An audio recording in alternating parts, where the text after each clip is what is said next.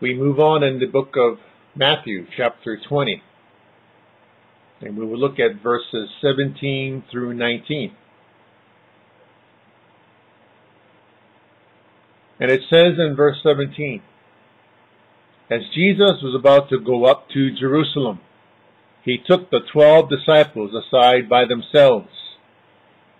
And on the way he said to them, Behold, we are going up to Jerusalem, and the Son of Man will be delivered to the chief priests and scribes, and they will condemn him to death, and will hand him over to the Gentiles to mock and scourge and crucify him. And on the third day he will be raised up. This is the third and final explanation or teaching to the disciples concerning Jesus' crucifixion or him being handed over to the Gentiles, the Romans, by Jews. He tells the disciples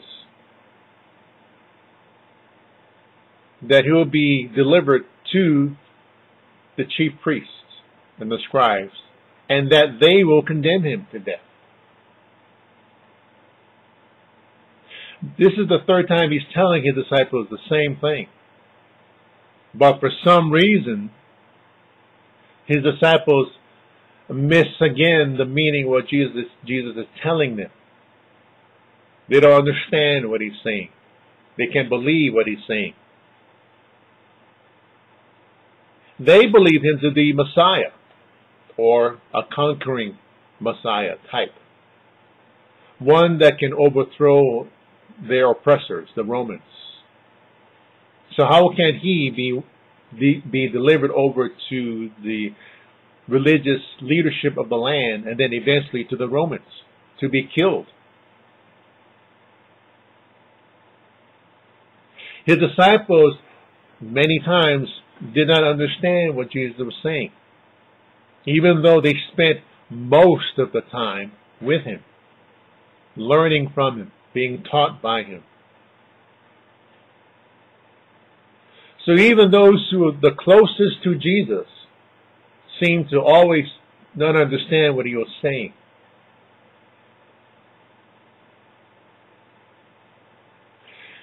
But before the triumphal entry into Jerusalem, he tells his disciples one more time, this is what's going to happen to him. This is what's, what's awaiting for him in Jerusalem.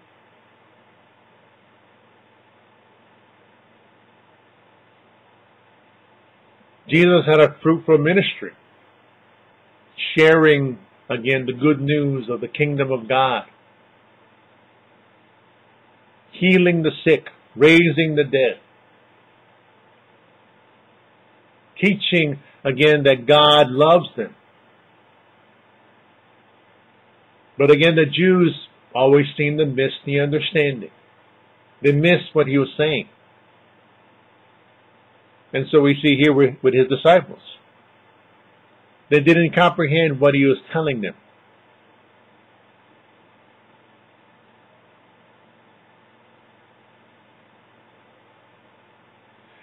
They're going up to Jerusalem. They will take him and condemn him to death. And then hand them over to the Gentiles, the Romans, who will then scourge him and crucify him. But on the third day, he will, he will be raised up. Jesus tells the disciples he will be executed. But on the third day, he will rise. His disciples missed all that. They don't, they don't understand it. They will eventually. But for the moment, they, they have no clue what Jesus is saying.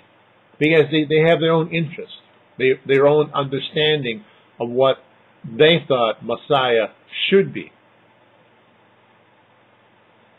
Same thing we have today.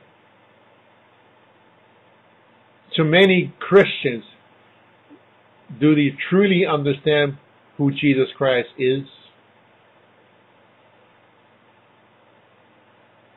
Today, Christ is being take, taken out of society, removed.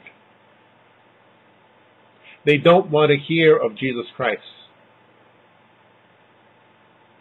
They don't want to hear about God.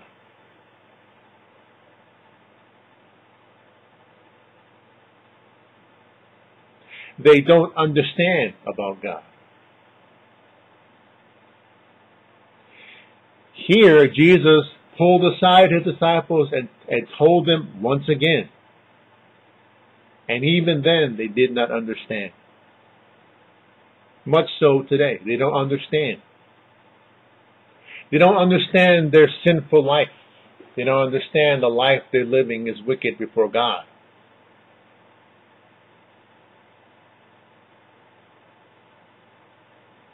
What they do understand is following their own interests. Like here, the disciples doing the same thing, following their own way.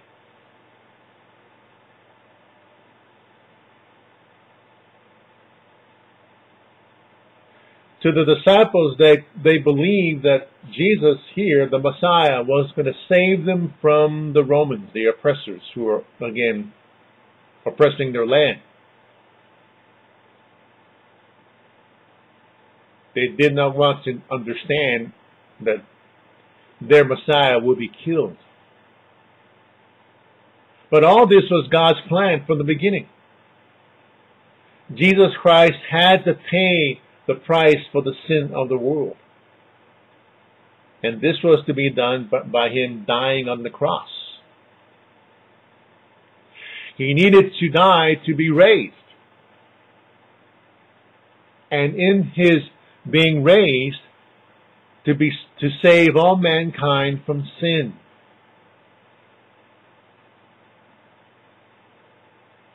That was God's great plan to save man from sin.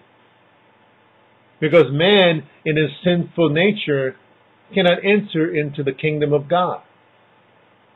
Only by the washing of the blood of Jesus on the sinner can the sinner come into the presence of God.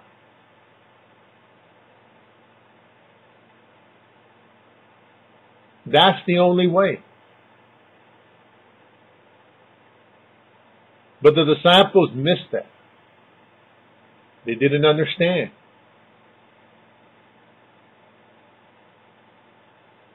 They needed to learn that this was God's plan. Ultimately, Jesus Christ will go to the cross but be raised into glory, and in his glory save mankind from their sin.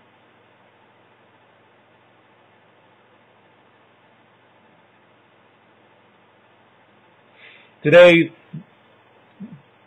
society, the world in itself, rebels against God. That's its tendency. It wants to rebel. It wants to turn away. He doesn't want anything to do with Jesus Christ, anything to do with God.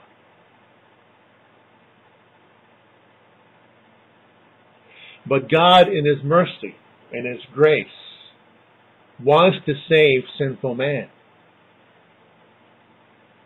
Wants to save the rebellious person that wants to rebel, always to rebel, reject anything that is God. God offers salvation. He offers a way out of your wicked life, and that is through Jesus Christ. That was the plan, to save sinful man, to save us from our sinful nature, our character. For all are born into sin. That's our true nature, sinful, wickedness. But God, by His mercy, has offered a way out of that life. And that is by Jesus dying on the cross and then raising up into glory on the third day. The disciples missed that. Jesus told them three times, and they missed it again.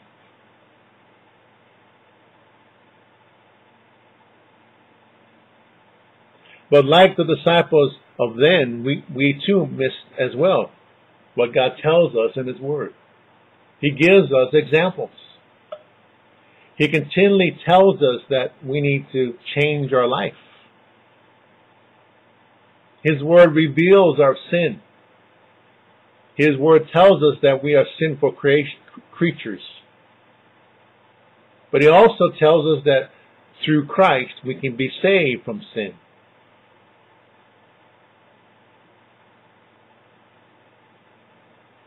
Satan constantly tempts us in this world.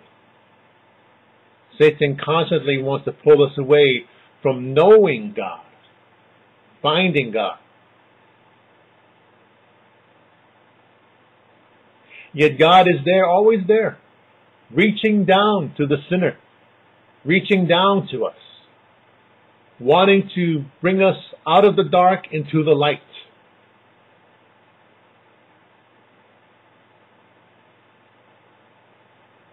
So like the disciples here, we miss again what, what God tells us many times. We, we miss what he wants us to do, what he wants us to say. That's why we need to constantly strive in his word, meditate on his word, wanting to, wanting the Holy Spirit to work within our hearts to reveal the truth found in His Word.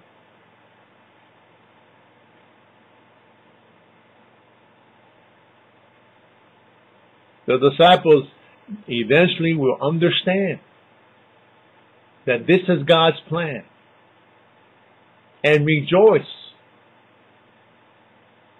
that the risen Lord has come that the risen Lord wants us to be holy individuals before Him. And we should not be those who are not knowledgeable about His Word, about His plans for us. Because His Word reveals it to us.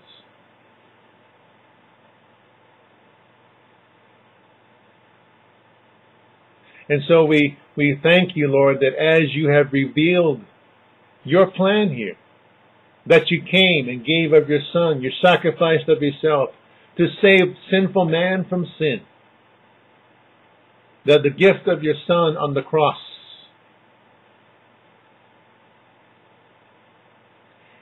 and that he was raised on the third day into glory. That's the greatest gift you have given mankind that we don't need to be held in prison with sin. That we don't need to be locked in sin. That we can find your love, Father, and your grace through the Son, your Son, Jesus Christ. Oh, we can comprehend your word and understand your word and meditate on your word to know truth and to know the plan you want for mankind. Open up our hearts, Lord, to your will, and open up our very lives, Father, to your will, so that we will not falter, so that we will not fall away from knowing that you have a great plan for us, for your children.